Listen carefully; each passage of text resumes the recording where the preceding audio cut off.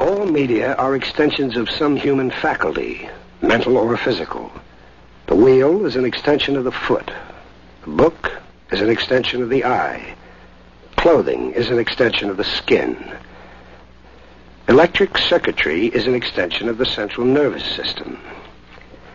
The extension of any one sense displaces the other senses and alters the way we think, the way we see the world and ourselves. When these changes are made, men change. I am an eye, a mechanical eye. I, the machine, show you a world the way only I can see it. I free myself for today and forever from human immobility. I'm in constant movement. I approach and pull away from objects. I creep under them. I move alongside a running horse's mouth. I fall and rise with the falling and rising bodies. This is I, the machine, maneuvering in the chaotic movements, recording one movement after another in the most complex combinations. Freed from the boundaries of time and space, I coordinate any and all points of the universe wherever I want them to be. My way leads towards the creation of a fresh perception of the world. Thus I explain, in a new way, the world unknown to you.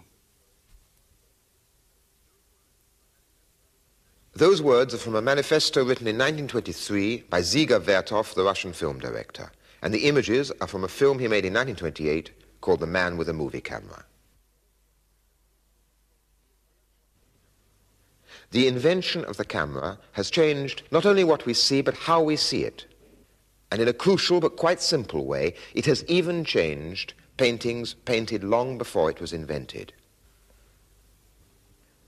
The painting on the wall, like a human eye, can only be in one place at one time. The camera reproduces it, making it available in any size, anywhere, for any purpose. Botticelli's Venus and Mars used to be a unique image which it was only possible to see in the room where it was actually hanging. Now its image or detail of it, or the image of any other painting which is reproduced, can be seen in a million different places at the same time. Herr Beuys, was ist Sr. Boyce, o que é arte? Kunst ist das Element De maneira geral, pode-se dizer que arte é o elemento no contexto do mundo através do qual o homem sente ser o centro criador de algo, o centro produtor de algo de novo. Evolucionário, então. O novo conceito de arte tornar-se-á realidade somente se for evolutivo. Qualquer pessoa é um artista. Make the secrets productive. Qualquer pessoa é um artista e tornai produtivos os segredos. Why, why should art and culture suddenly become very big business, like big science?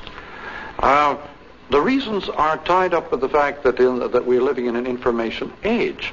When you live in an information age, culture becomes big business, education becomes big business, and the cultural explosion or the information explosion becomes itself culture. It knocks down all the walls between culture and business.